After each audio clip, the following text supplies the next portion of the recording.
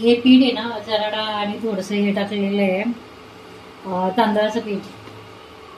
मीठ मिरची आणि लसूण वाटून त्याचं पाणी गाळणी गाळून हे पीठ मळून घेतलेलं आहे. आणि ह्या इकडे दहा मिनटं भिजत ठेवलेलं आहे. आणि हे इकडे याच्यामध्ये सोऱ्यामध्ये घालून आता ही अशी शेव काढायची.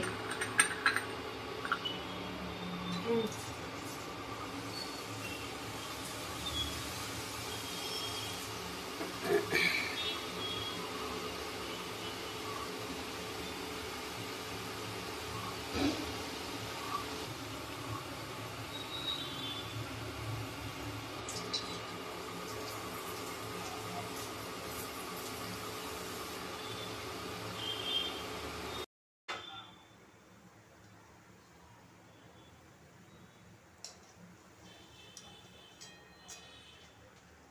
पाच मिनटात होणारी ही शेव बघा. फक्त चणा डाळीचं पीठ आणि थोडंसं तांदळाचं एक वाटी पीठ आणि चणा डाळीचं पाच वाटी पीठ. आणि त्याच्यामध्ये लसूण आणि मिरची पावडर टाकायची आणि थोडीशी हळद कलर आणि अशी पीठ मळून घ्यायचं आणि सोऱ्यामध्ये टाकायचे. या सोऱ्यामध्ये. आणि हे असं बनवून घ्यायचं.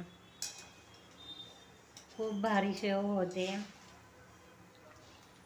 व्हिडिओ आवडला सबस्क्राईब करा लाईक करा कमेंट करा. ही आमची शेव.